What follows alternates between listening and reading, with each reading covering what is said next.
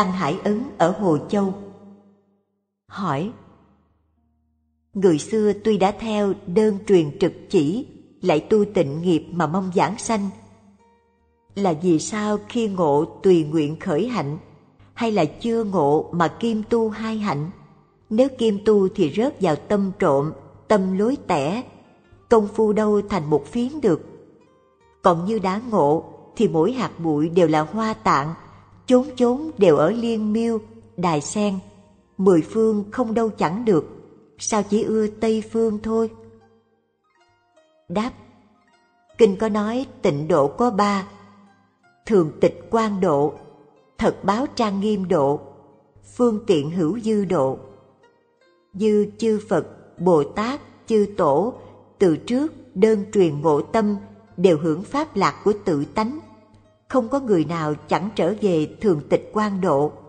Đó là nghĩa duy tâm tịnh độ. Như tất cả các cõi nước đều là tịnh độ, tức hoa tạng trang nghiêm thật báo độ, cũng là duy tâm mà hiện. Đối với người cầu sanh Tây Phương tịnh độ, còn gọi là phương tiện hữu dư độ, là một cõi trong hoa tạng trần sát vậy. Đây là với người muốn cầu giảng sanh. Luận nói, chúng sanh mới học, sợ lòng tin khó thành, ý muốn lui sụp, nên Như Lai có phương tiện thù thắng giữ gìn lòng tin, bảo rằng chuyên niệm Phật A-di-đà ở thế giới cực lạc phương Tây, tu căn lành hồi hướng cầu nguyện sẽ được giảng sanh, thường thấy quy y Phật, do đó trọn không lui sụp. Đây là người chưa ngộ mà tu, tức chỉ ý Ngài Vĩnh Minh nói, nếu được thấy Di Đà, lo gì không khai ngộ. Vậy nếu tu gồm luôn hạnh này, như chỗ luận nói, nếu quán pháp thân chân như của Phật kia, thường siêng năng tu tập, rốt cuộc được sanh trụ trong chánh định. Đây há phải là tâm trộm ư? Đó là chưa đạt được ý của niệm Phật, chẳng biết ý của tịnh độ. Thì biết người đã ngộ, chẳng đợi cầu mà tự giảng sanh, thì người chưa ngộ cũng chẳng phải là đem tâm trộm mà niệm Phật cũng có thể sanh vậy. Hỏi Tham thiền quý ở chỗ một niệm chẳng sanh, niệm Phật quý ở chỗ tịnh niệm tương tục. Đó là một môn tham cứu niệm Phật, ý tại diệu ngộ mà được giảng sanh. Đây lúc niệm Phật, tuy tâm với Phật phân minh, lúc tham thì cả hai đều ngồi dứt hết. Nên công tham thiền dần dần hơn, niệm Phật dần dần nhỏ nhiệm, lúc khác đâu được vừa ngộ vừa giảng sanh. Đáp Tham thiền quý một niệm chẳng sanh, đúng rồi.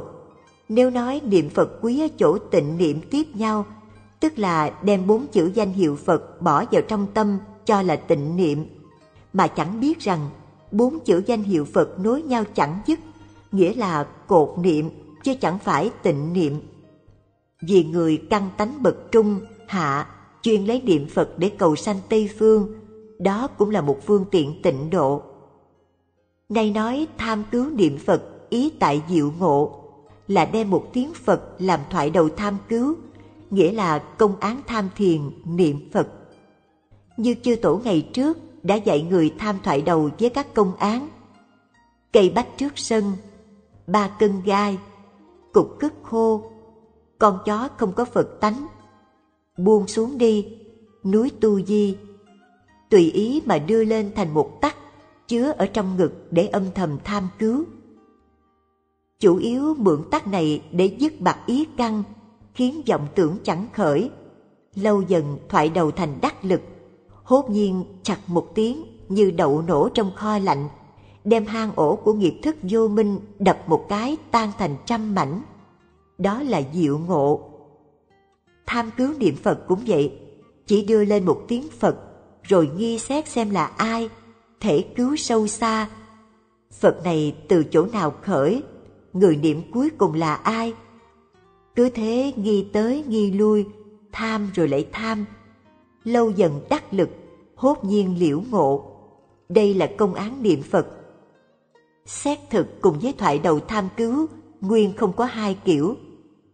Rốt cuộc, cốt tham đến chỗ một niệm không sanh, đó là tịnh niệm. Chỉ quán nói, nếu tâm rong rủi tán loạn, phải nên thu nhiếp lại quay về chánh niệm. Chánh niệm là vô niệm, vô niệm tức là tịnh niệm. Chỉ cần tịnh niệm này chẳng mờ liền là tương tục. Há phải để tiếng niệm Phật không dứt mới cho là tịnh niệm sao? Nếu thế thì chẳng biết tham thiền cũng chẳng biết niệm Phật. Nếu tham cứu quả đến chỗ tịnh niệm hiện tiền thì tịnh độ chẳng cần tìm bên ngoài. Lúc đó một niệm tức đến được thượng phẩm thượng sanh là chỗ đến của hạnh này vậy. Hỏi, Lý tức tâm tức Phật chẳng chạy cầu bên ngoài. Tin được đã thấy được suốt thì liền tùy duyên tiêu nghiệp cũ, chẳng tạo ương mới, hồn nhiên hăng hái để chờ thức cạn tự được, hay lại nên khởi nghi tình tham cứu tận lực để cầu diệu ngộ? Đáp Tin được tức tâm là Phật, chỉ là tin suông, phải cần thực hành để chứng ngộ. Nếu không hành chứng mà tin rỗng cũng vô ích. Há chỉ lấy chữ tinh liền cho đó là liễu triệt sao? Cổ nhân nói, trước ngộ sau tu, đó là sau khi ngộ chính nên tu hành. Cổ đức nói, người học nếu được một niệm, chống khế hợp với tự tâm, đó là diệu ngộ. Nhưng vẫn còn có chủng tử ác huân tập từ vô lượng kiếp đến nay gọi là hiện nghiệp lưu thức. Sau khi đã ngộ được đạo lý, trong 12 thời, miên miên mật mật trừ sạch hiện nghiệp lưu thức, gọi đó là tu, chẳng phải bỏ cái ngộ này ra ngoài, lại có cái tu. Tịnh trừ hiện nghiệp, tức là tùy duyên tiêu nghiệp cũ, toàn nhờ vào công của ngộ mới có thể có sức trừ sạch thói ác. Nếu chỉ tin suông, lấy gì để tiêu thói xấu? Chỗ nói nghi tình tham cứu, chính là công phu trừ sạch hiện nghiệp. Nếu lúc chưa ngộ phải tham cứu chỗ khởi của nghiệp tập lưu thức, Kinh nói, ngồi yên lặng trong núi rừng, quán tự tâm trôi chảy. Nếu đã ngộ rồi, thì chỗ khởi của thói ác một phen chiếu đến liền tiêu, tự nhiên như mảnh tuyết trên lửa hồng. Ngộ rồi tiêu nghiệp cùng với công phu lúc chưa ngộ, hơn nhau như ngày với kiếp, chẳng thể nói đồng ngày vậy. Hỏi Tham thiền tâm có lúc các niệm chẳng sanh, thoại đầu liền đề chẳng khởi, đè cũng chẳng rơi. Lúc ứng duyên, nếu quản đới, đeo mang, lại bị cổ nhân quở trách, mặc kệ thì chẳng thể tiếp tục, chỉ là động tịnh hai bên, làm sao đưa lên tham cứu để chống được tương ưng.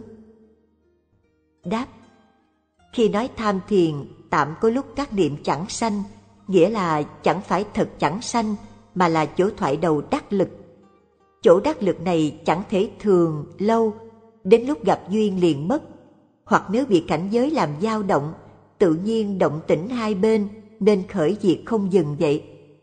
Nếu quả có thể dụng tâm thì ngay lúc một niệm chưa sanh ra sức, lâu dần sẽ thuần thục. Như thế bổn thể của một niệm không sanh hiện tiền, thường quan rõ rệt, sáng tối không dời đổi, động tĩnh nhất như mới làm thành một phiến. Đến đây, ứng duyên chẳng cần quản đới, thuận vật hợp đạo. Há có ý cổ nhân của trách cái vô sanh chân thật sao? Về công phu tham thiền, nếu ngay lúc một niệm chưa sanh mà ra sức đề cứu, tự nhiên chống được tương ưng. Nếu đem tam muội ánh chớp, lôi quang, cho là được, thì cuối cùng rơi vào hang của thức tình. Hỏi Vĩnh Gia nói Ai vô niệm, ai vô sanh? Dân cư tề nói Chẳng dứt phân biệt, chẳng bỏ tướng tâm. Dường như sau khi ngộ Có tưởng, có niệm. Còn Dũng Tuyền nói Chẳng cho tẩu tác. Ngưỡng Sơn Thiền quỷ bất tri. Và Thạch Sương Một niệm muôn năm lại hình như sau khi ngộ không có tưởng niệm, chẳng lẽ ứng duyên thì có, lìa duyên thì không? Hai nghĩa có không mong được giải quyết.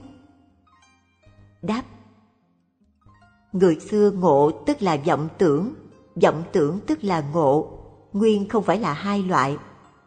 Người mê ngồi trong vọng tưởng nên mong diệu ngộ, toàn nói là có cái ngộ riêng. Kinh Lăng già nói, chư thánh từ trước lần lượt truyền trao, vọng tưởng không có tánh, há có hai sao? Chỉ là lúc mê dùng vọng tưởng, lúc ngộ dùng tự tâm, há có sau khi ngộ lại khởi vọng tưởng sao? Hỏi Vĩnh Minh nói Trước do nghe hiểu mà tin rồi vào sao lấy vô tư khế đồng Không riêng tư để khế hợp một lần vào cửa tinh, liền lên địa vị tổ. Phàm tổ vị rất sâu, Nghe hiểu làm sao có thể lên liền. Huống như dân môn, Đã thấu pháp thân, Hay động sơn, Tất khiến dứt ý thức, Là chứng không phải hiểu. Chỗ hiểu xưng là tổ vị này, chắc có nghĩa sâu xa.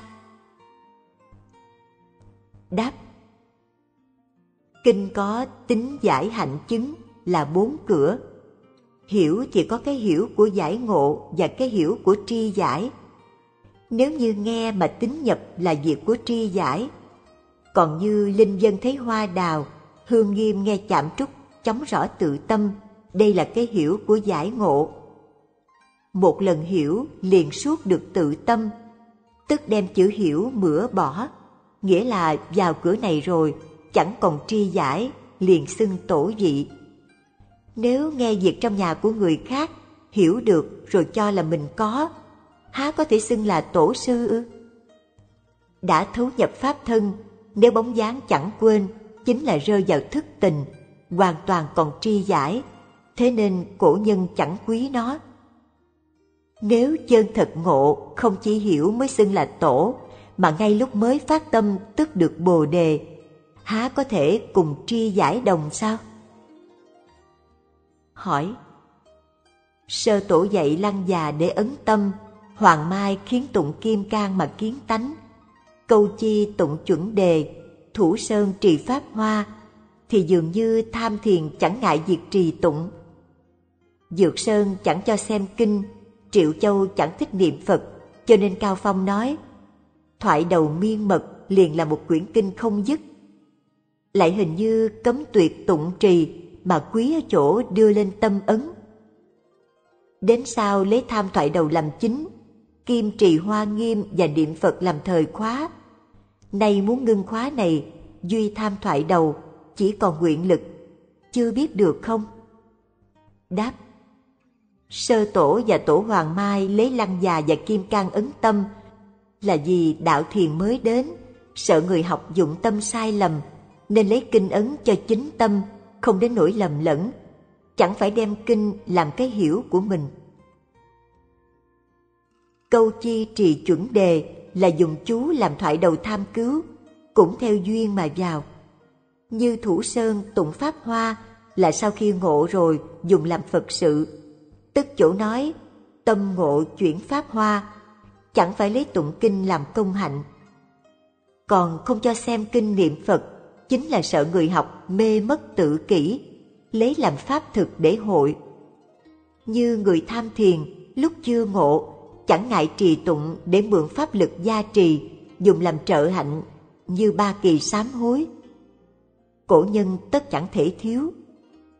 Nếu ngộ rồi tụng kinh thì chữ chữ tâm quan bày lộ đều là diệu hạnh. Há so với bọn noi theo giấy mực, chim xuân kêu ngày sao? Hỏi Chỉ lo không thành Phật, chớ buồn Phật không biết nói. Người xưa dạy thế. Người học đời nay chẳng dụ chân tu mà lo cơ phong chuyển ngữ, lầm vậy. Nhưng tự biết chưa ngộ thì tha thiết nhắc nhõm chỉ vì kiến địa chưa sáng, sợ là tu mù luyện đuôi, nên giữa thầy trò, bạn đạo cần hỏi đáp thù sướng. Đây chẳng lẽ hại ư? Hoặc giả sức học chẳng rành thương lượng, tất đợi ngộ rồi mới thốt lời thì kiến địa còn thiếu sót, từ đâu mà khởi hạnh? Huống việc đào luyện lý tánh, quyết trạch đúng sai, như ba lần lên, chín lần trèo, vì một câu mà đi ngàn núi, đều ở khi chưa ngộ. Đáp, Thời xưa người ngộ tâm gọi là người mắt sáng. Nếu bậc tác gia gặp gỡ như hai gương chiếu nhau, chẳng câu nệ có lời hay không lời, tự nhiên chạm mắt đạo còn, chẳng cần nhất định phải thù tạc cơ phong, tranh hơn cho là cao. Người học về sau, cuồng giọng rủi rong, miệng lưỡi lanh lợi, thật chẳng đủ lấy. Nếu là tham học có nghi, thì trước người sáng mắt nên chân thành thỉnh ích, bày lộ bổn tâm. Như thế cũng chẳng phải gặp gỡ qua miệng lưỡi. Đến như rộng tham bậc tri thức, chỉ vì quyết trạch tâm này. Đâu ngại lời nói rơi trên cỏ, quanh co, thương lượng bình thực mới là bổn sắc của đạo nhân. Nếu dụ cơ phong ứng thù thì là việc đầu cửa cuối xong, chẳng phải chân thật. Người chân tham thực ngộ quyết chẳng rơi vào đây. Hỏi Người thấy tự tánh được tự do đối với sanh tử làm chủ được, có thể chuyển nghiệp lúc lâm chung.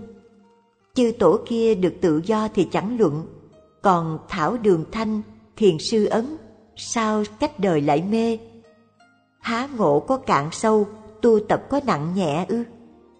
Hay cũng là đại bi tăng thượng, vốn cao thượng mà dấu vết thấp thỏi, nhưng người không tự biết chăng? Không thế thì người học đâu còn tin ở pháp môn kiến tánh được. Đáp Cổ nhân nói, một lần ngộ liền thoát sanh tử, tức là ngộ tự tánh pháp thân, còn có hạt giống tập khí vô minh nhiều kiếp là nhân khổ sanh tử, chưa chóng hết được, nên phải nhiều kiếp tu hành mới thành Phật đạo. Lại như Bồ Tát thất tính, đã ngộ tự tánh, địa vị lên bậc bất thối, lại trải qua 42 vị, dần dần dứt tập khí vô minh mới thành Phật đạo.